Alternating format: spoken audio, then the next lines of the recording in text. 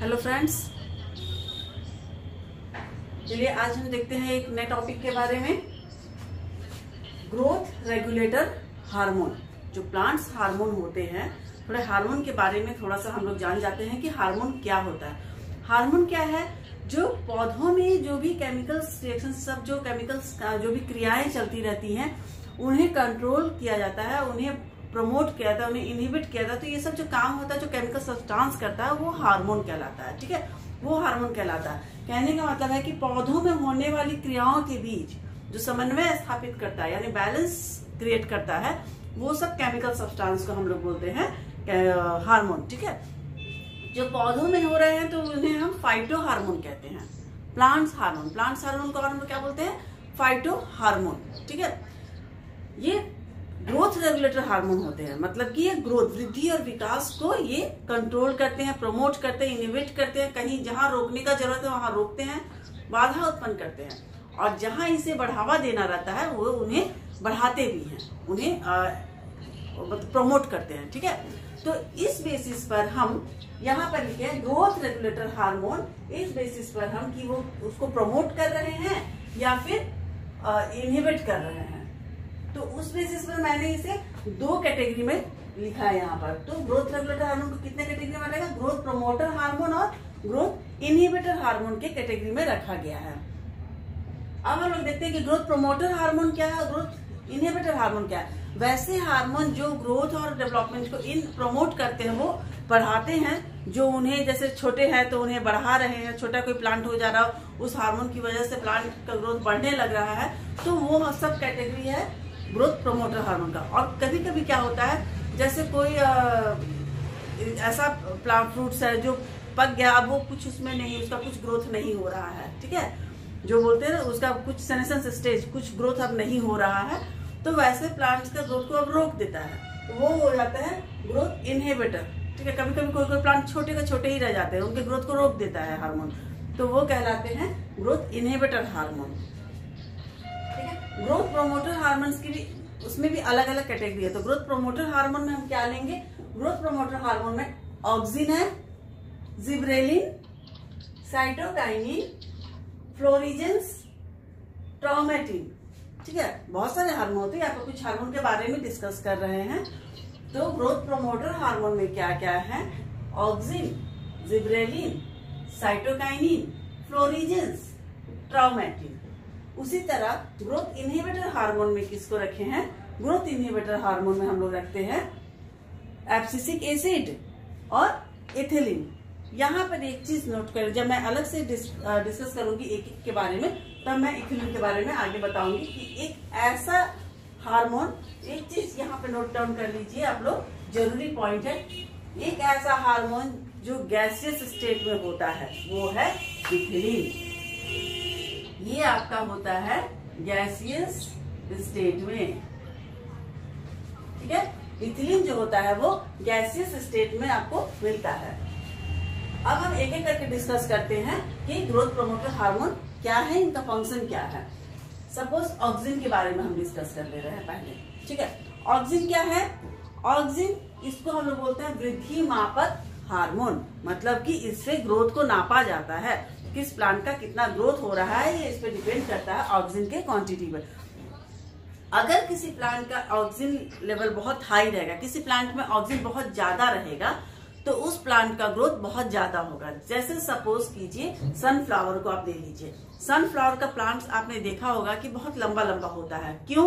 Due to deposition of oxygen hormone इसलिए क्योंकि उसमें ऑक्सीजन टिप में बहुत ज़्यादा होते हैं वो क्या करते हैं, जैसे जैसे सन जिधर जिधर जाते हैं, वो सन के तरफ़ मुँह करके घूमते जाते हैं। तो जिधर सन लाइट उसको मिल रहा है, उसका ऑक्सीजन बहुत ज़्यादा है उसमें तो सन जिधर जिधर मिल रहा है प्लांट उतना ही ग्रो करते जा रहा है। बहुत लंबा लंबा प्लांट होता है सनफ्लावर का ड्यू टू ऑक्सीजन ठीक है? और रूट नीचे तरफ़ ग्रो करता है, क्योंकि उसको लाइट नहीं मिल रहा है तो रूट नीचे तरफ़, यही यही मैकेनिज्म को हम लोग बोलते हैं फोटोट्रॉपिज्म और जियोट्रॉपिज्म फोटोट्रॉपिज्म मीन्स क्या होता है, जो सनलाइट की तरफ़ ग्रो करता है और सनलाइट के अपोजिट जो करता है, वो है रूट ठीक है? तो जियोट्रॉपिज्म हो गया. तो ऑक्सीजन क्या हो जाता है? ये वृद्धि इससे नापा जाता है कि प्लांट्स में कितना वृद्धि हो रहा है, कितना ग्रोथ हुआ है उसका. इसलिए इसको वृद्धि मापक भी बोलते हैं ग्रोथ हार्मोन वृद्धि जिससे नापा जाता है, जिससे ग्रोथ को हम लोग मेज़रमेंट करते हैं, उस इंस्ट्रूमेंट को भी हम इसके नाम पर ही बोले हैं. सॉरी ऑक्सीजन के नाम पर ही हम इसका नाम रखे हैं. ऑक्सीनोमीटर ऑक्सीनोमीटर ऑक्सीजन के नाम पर ही इसका नाम इस इंस्ट्रूमेंट का नाम ऑक्सीनोमीटर पड़ा है। ठीक है? ऑक्सीजन का क्या है?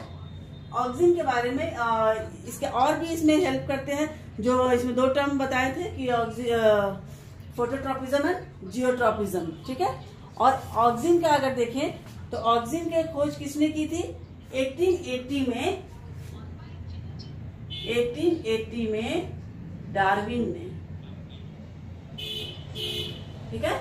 1880 में डार्विन ने ऑक्सीजन की खोज की थी। सेकेंड जिब्रेलिन के बारे में देखते हैं जिब्रेलिन, सबसे पहले क्या देखा गया था ना कि जैसे इसके डिस्कवरी के बारे में थोड़ा सा देख ले तो जापान में जो किसान लोग थे, जो राइस प्लांट ग्रो करते थे उन्होंने अचानक क्या नोटिस किया कि प्लांट्स बहुत ही लंबे लंबे हो गए हैं, बहुत थीन हो गए, पतले हो गए हैं पेल येलो टाइप के कलर के हो गए हैं तो ऐसा क्यों हुआ? तो जब उन्होंने उसका स्टडी किया प्लांट्स को लेकर तो देखा कि हाँ कुछ इसमें ऐसा सब्सटेंस है जिसकी वजह से ये हो रहा बाद में ये याबूटा नाम के एक साइंटिस्ट ने इसको क्लियर किया कि ये जिब्रेलिक एसिड है। जिब्रेलिन के समय समय पर डिस्कवरी होते गया जीए जिब्रेलिन को हम लोग जीए से डोनेट करते हैं। मतलब जिब्रेलिक एसिड तो इस तरह से जी ए वन जी ए टू इस तरह से आया है। तो जब जी ए थ्री आया, ये मोस्ट एडवांस था, जो बाद में आया जी ए थ्री इसी का नाम पड़ा gibberellic acid G A three का नाम पड़ा जिब्रेलिक एसिड ठीक है? तो जिब्रेलिन क्या करता है? ये ऑक्सीजन एक तरह से देखे तो काउंटर इफ़ेक्ट भी करता है ऑक्सीजन का, ठीक है? क्या करता है? ये ऑक्सीजन के ग्रोथ को रोक देता है। जो टिप में ग्रोथ हो रहा है, जो लंबा, उसको रोक के ये लेटरल ग्रोथ करने लग जाता है एलोंगेट करने लग जाता है, ठीक है? तो जिब्रेलिन क्या करता है? ये वृद्धि को नियंत्रण करता है कंट्रोल करता है ये। तो इसको हम लोग क्वेश्चन पूछा जाता है, वृद्धि नियंत्रण हार्मोन ग्रोथ कंट्रोलर हार्मोन तो इसको हम लोग जिब्रेलिन को बोलते हैं ग्रोथ कंट्रोलर हार्मोन। मतलब कि वृद्धि नियंत्रण हार्मोन। ठीक है? ग्रोथ कंट्रोलर हार्मोन इसको हम लोग बोलते हैं।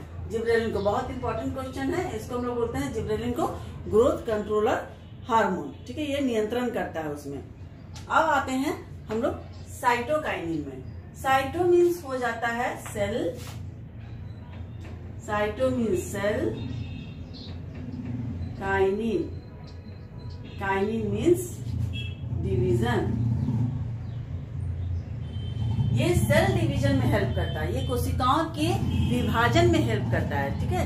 तो ये क्या करता है, ये सेल डिवीज़न में हेल्प करता है आपका, ठीक है? यहाँ पर लिखना होगा help in help in cell division ठीक है? ये सेल डिवीज़न में मदद करता है, कोशिकाओं के विभाजन में मदद करता है साइटोकाइनिन ठीक है? साइटोकाइनिन अलग अलग तरह के भी इसके कैटेगरी में रखा गया, जो नेचुरली होते हैं, उन्हें नेचुरल साइटोकाइनिन की कैटेगरी में रखा गया है। और जो नेचुरल नहीं मिलते हैं, उनको आर्टिफिशियल साइटोकाइनिन के कैटेगरी में रखा गया है। ठीक है?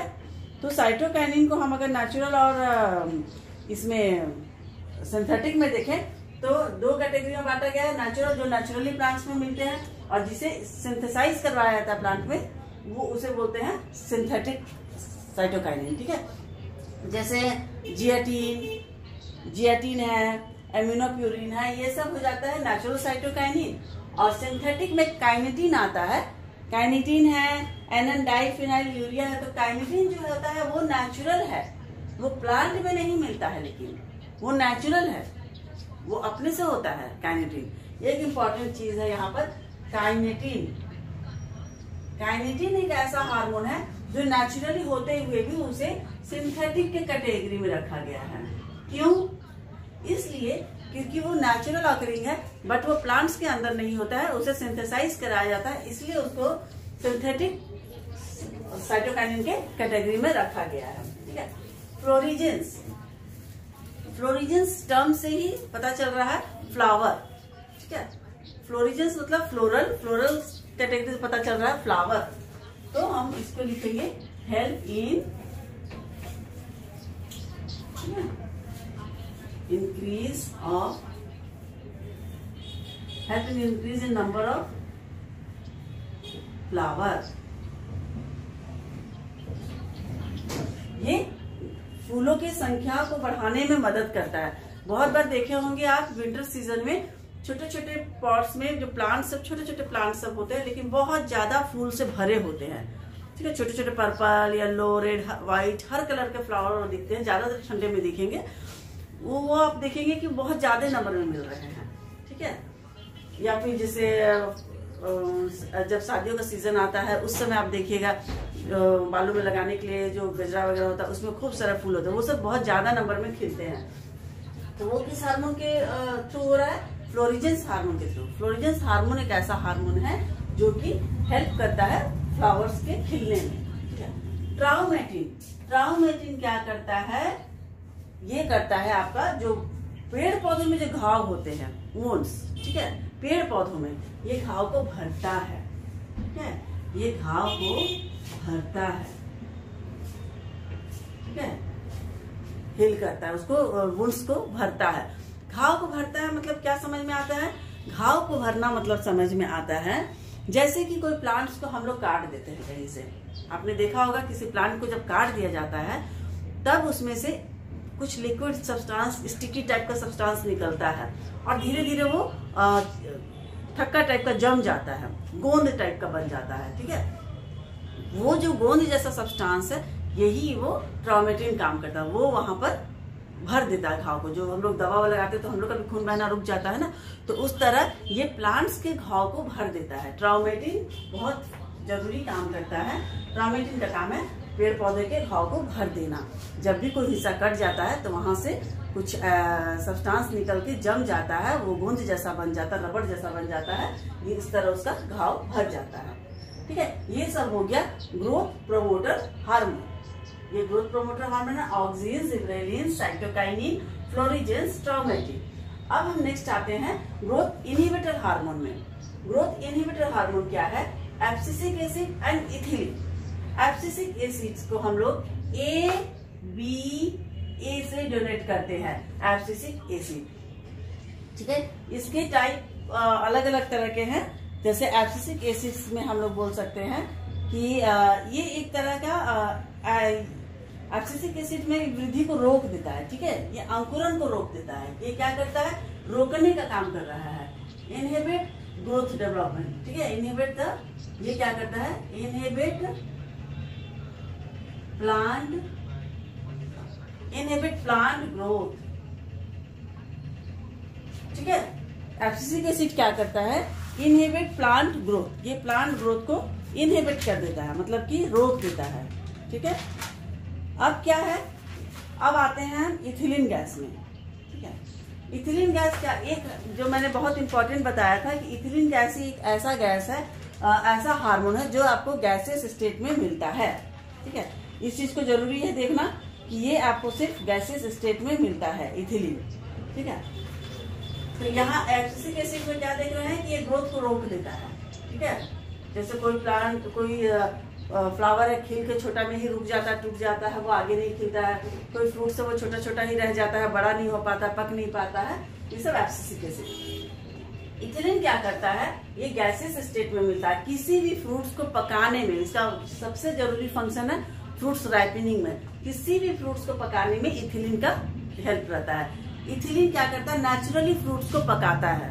पेड़ में जो आम है या आ, केला है ये सब जो पकता है ये नेचुरली पकता है आपके इथिलीन की वजह से। लेकिन अगर किसी एक चीज़ यहाँ जाना इथिलीन और एसिटिलीन में थोड़ा सा कंफ्यूजन हो जाता है। एसिटिलीन क्या है? जब हम लोग, जैसे कोई आम कच्चा है, उसको निकाल कर अगर हम लोग आर्टिफिशियली पकाते हैं तो वो हम लोग हेल्प लेते हैं एसिटिलीन का। क्या करते हैं हम लोग? कार्बाइड लाते हैं और कार्बाइड में थोड़ा सा पानी छीट के हम लोग केला वगैरह में, आम वगैरह में लगा, रख देते हैं बीच में, वो पक जाता है। तो ये क्या कर रहा है? ये एसिटिलीन की वजह से। जब वो कार्बाइड में थोड़ा पानी छीट के हम वहाँ रख देते हैं, लगा देते हैं, तब वो आपका एसिटिलिन बन जाता है। ठीक है? तो वो एसिटिलिन की वजह से जो फ्रूट्स है, वो आपका आर्टिफिशियली पक जाता है। और जब नेचुरली पकना होता है, तब वो पकता है इथिलीन की वजह से। तो इसका मेन फ़ंक्शन क्या है? फ्रूट राइपिनिंग में। फ्रूट राइपिनिंग में। ठीक है? तो इथिलीन का मेन फ़ंक्शन है फ्रूट राइपिनिंग में होता है, ठीक है? इसे इथिलीन को 1901 में रशियन साइंटिस्ट डेमिट्री ने डिस्कवर किया था लेकिन मैंने उतना जानना है कि गैसेस इस चीज़ को इम्पोर्टेंट है, इस चीज़ को जानना बहुत ज़रूरी है कि ये एक ऐसा हार्मोन है जो गैसेस स्टेट में पाया जाता है। ऑक्सीजन है, ये आपका ग्रोथ को प्रमोट करता है जिब्रेलिन वृद्धि को नियंत्रण करता है साइटोकाइन सेल डिवीज़न में हेल्प करता है फ्लोरिजेंस फूलों को खिलने में मदद करता है, ट्रोमेटिन घाव को भरता है आर्टिसिक एसिड प्लांट ग्रोथ को रोक देता है, बीज के अंकुरन को रोकेगा, सब चीज़ को ये रोकेगा, ये बाधा का काम करेगा। इथिलीन क्या करता है? फ्रूट राइपनिंग का काम करता है नेचुरली फ्रूट को पकाता है। ये सब हो गया growth regulator hormone thank you